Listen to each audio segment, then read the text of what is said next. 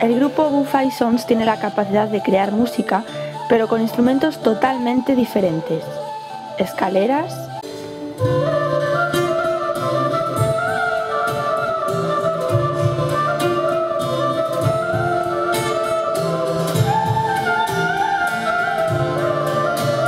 vallas,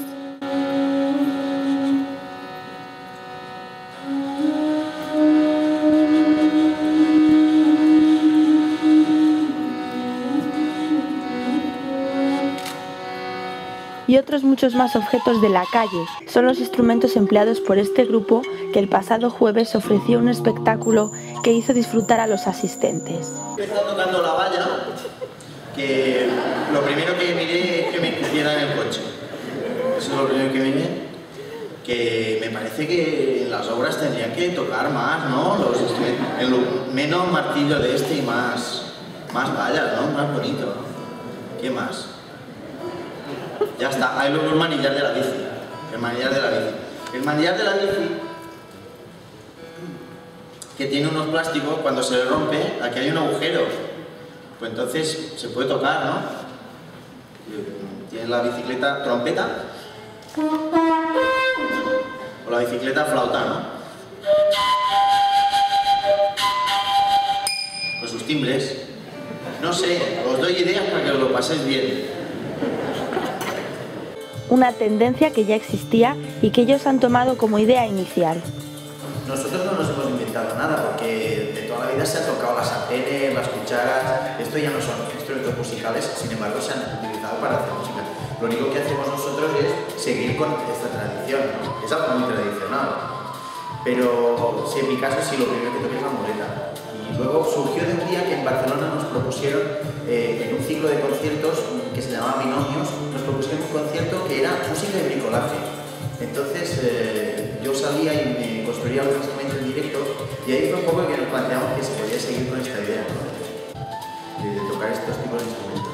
¿Cuál es el instrumento más raro para vosotros que habéis tocado? Yo un trozo de lechuga, soplando, soplando, La aceituna, una aceituna. Te voy a tocar el cartel. Vale, venga, sí. El cartel se enrolla así y se puede soplar el cartel. A ver, espera. Improvisado. Improvisado total. A ver. Se enrolla, esto para cuando no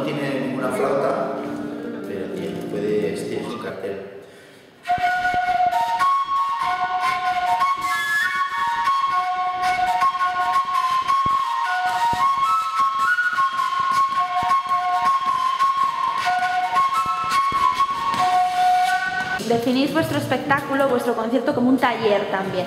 Yo no sé si hay interacción con el público o es algo que todavía no habéis...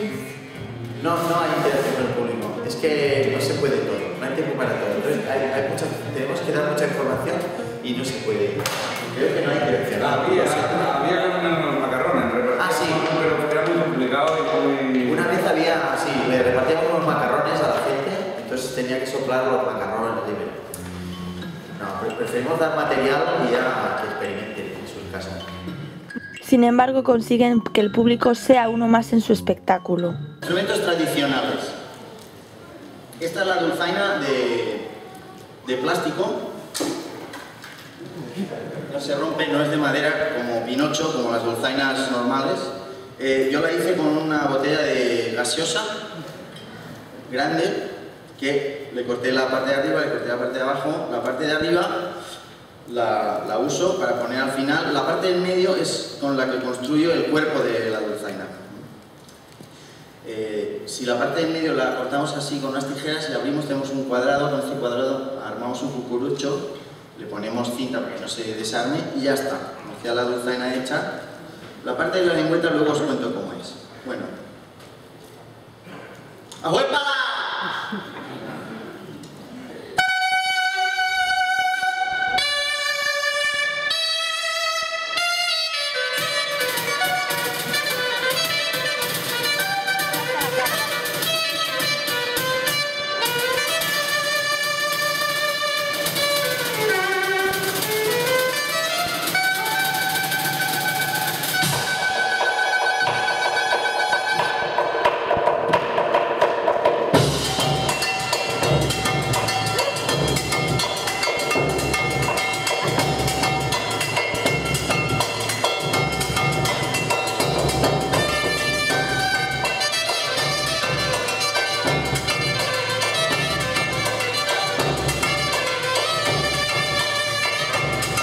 Para diciembre, un concierto al mes vuelve con la música de divertimento folk.